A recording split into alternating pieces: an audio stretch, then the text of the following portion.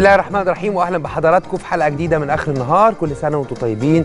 بمناسبه كل الأعياد اللي بتمر بيها مصر سواء أعياد الإخوة الاقباط آه، عيد الفصح آه، آه، عيد شم النسيم ورغم كل ال- التحذيرات اللي بتصدر عن وزارة الصحة وعن كل ال- الأجهزة الطبية المصريين الحمد لله مستمرين في تحدي كل هذه التحذيرات. وبياكلوا فسيخ زي ما هم عايزين ويعني آه، لما بيقول لك ستة بس اللي, اللي حصل لهم حالات تسمم فالناس بتطمن يعني.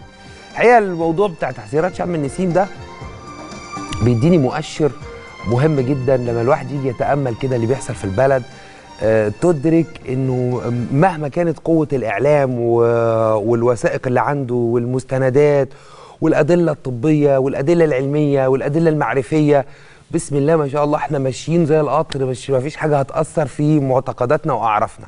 كل اللي إحنا عايزين فسيخ هي فسيخ ما فيش كلمة يعني ما بنتكلمش في الموضوع. مفيش هزار. انت بقى الإعلام كله عمال شغال بقاله يجي خمس ست أيام من قبل أعياد الربيع على الصحافة على الجرايد على وزير الصحة على بيانات تحذيرية على كل اللي انت عايزه.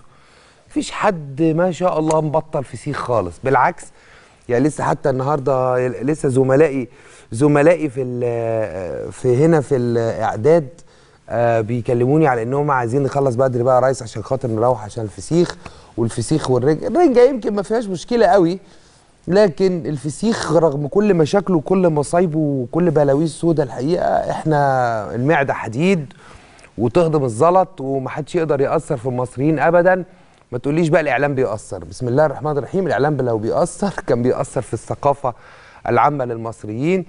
أنا أجزم أجزم إن كل اللي إحنا بنشهيص فيه ده وبنهيص فيه ملوش أي علاقة بالتأثير على المواطن في الآخر لأن المواطن بياخد اللي هو عايزه. أنت قول زي ما أنت عايز.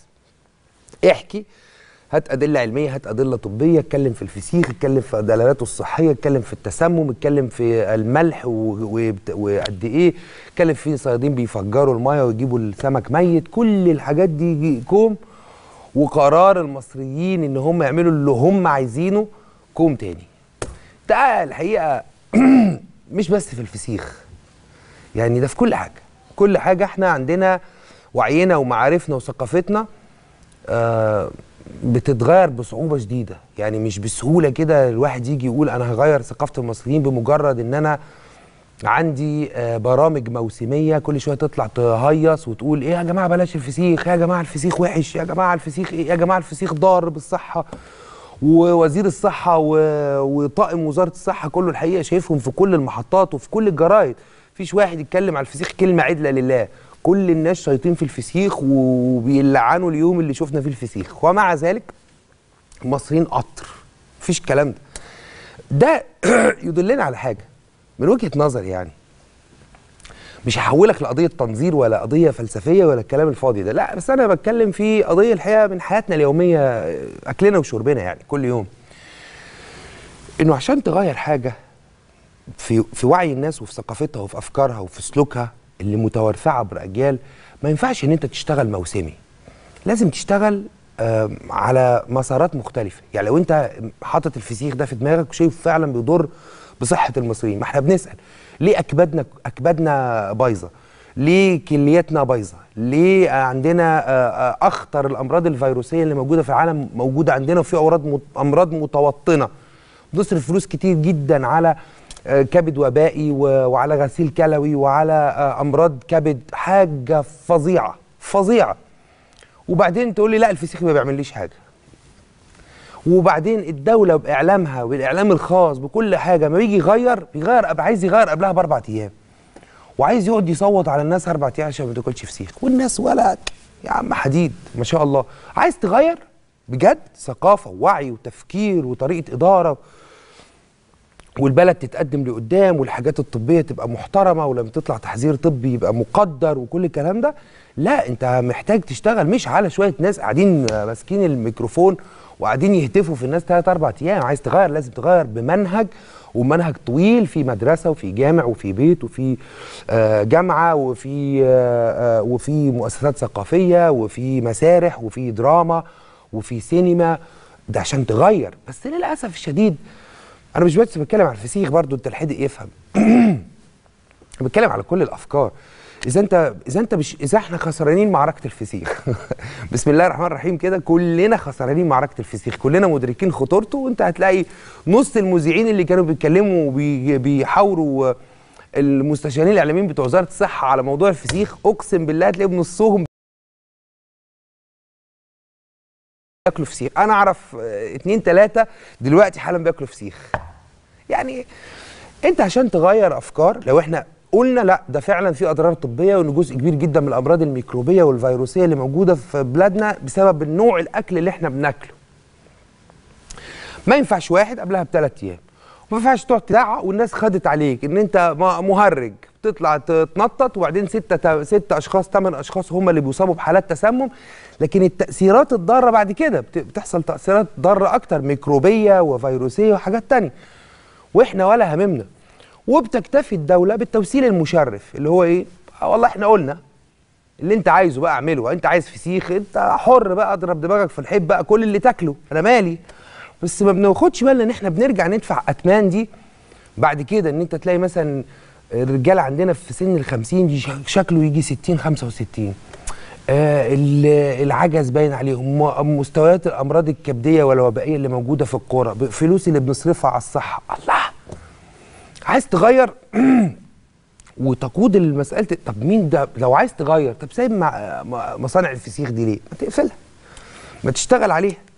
لو هي بتجيب لك أضرار فعلا وبتجيب أضرار اصل مش قضية تسمم بس اوعى تفكر إن الستة ولا الثمانيه لا ده موضوع كبير موضوع الفسيخ ده أضراره كتير بس يعني ها لا يا عم إحنا ما إحنا بناكل زي الفل. نشرب كوبايتين مية على شاي تقيل بتاع وشوية آه، ملانه بقى على خيارتين نخلص الموضوع ولا أي حاجة ولا الهواء والليمون هيقتل كل الميكروبات. لا يا حبيبي ما بيحصلش كده. قضيتي بقى في اللي بيعمل كده دي واحد بس قضيتي الأكبر. إزاي الإعلام والدولة إعلام الدولة والإعلام الرسمي والإعلام الخاص لما بيجوا يتعاملوا مع قضية بيتعاملوا معاها إزاي؟ بيتعاملوا معاها ببؤس للأسف وبيتعاملوا معاها ب من من فوق الوش كده. عارف فاكر أغنية قشر البندق بتاع فيلم قشر البندق؟ بنتعامل في قشر البندق مش في قلب البندق. ما بنخشش في جوهر الموضوع وما بقاش عندنا إصرار على التغيير. هديك أمثلة كتيرة جدا مش قضية الفسيخ هديك أمثلة الخطاب الديني. تغيير الخطاب الديني عمالين نقول ولازم ونقاوم التكفير ونقاوم بتاع. وبعدين موسميا تحصل عملية إرهابية تلاقي مقاومه التكفير. ومقاومة الإرهاب. تموت الأحداث والدنيا تهدى تلاقي الموضوع كله سكت. كله سكت كله كله كله. إعلام سكت والدولة سكتت وإعلام الدولة سكت والمقالات وقفت عن الموضوع والأزهر خد جنب ومش عارف مين ما اتكلمش. وخش. وبعدين يطلع لك واحد زي فصل كده. يشتم لك الصحابة فاحنا نقوم تاني ونقول هو ده التغيير خطاب الدين. لا مش عايزين كده. لا يا عم تغيير الخطاب الديني ده هيودينا في داهية. لا خلينا كده أحسن. وتفضل مكنة العنف والإرهاب بتولد وبتفرخ وأنا راجل عندي ابن حي شعبي وفاهم كويس جدا الحاجات دي بتشتغل إزاي على الأرض. المكنة دي شغالة بتنتج دلوقتي ناس تانية وأفكار تانية وأفكار بتتوالد. فين بقى الإعلام والدولة وبتاع؟ وإيه التغيير اللي حصل؟ كله موسمي. كله موسمي. على حسب الحالة. مزاجنا النهارده ضد الفسيخ آه، بتاع- أو يعني خلاص تمثيل مشرف. الإعلام والدولة كله قايمين على نظرية التمثيل المشرف. آه إحنا والله قلنا الفسيخ وحش. إحنا والله قلنا التكفير ده مش ولا بد. والله قلنا لازم نجدد الخطاب الديني. المصريين بقى يتصرفوا. لا. لا هو ده مش منهج. ده مش منهج. إحنا كده بن بنفرط في أسس فكرية وفي وعي عام آه ما ينفعش إن هو يفضل كده متردد يمين وشمال. ما ينفعش. طب, أنت النهارده الغي بقى صور الفسيخ ما أنا ما بقتش أتكلم على الفسيخ بس. وبعدين دي رنجة يا ابني مش فسيخ. آه ولا شفت فسيخايه واحدة.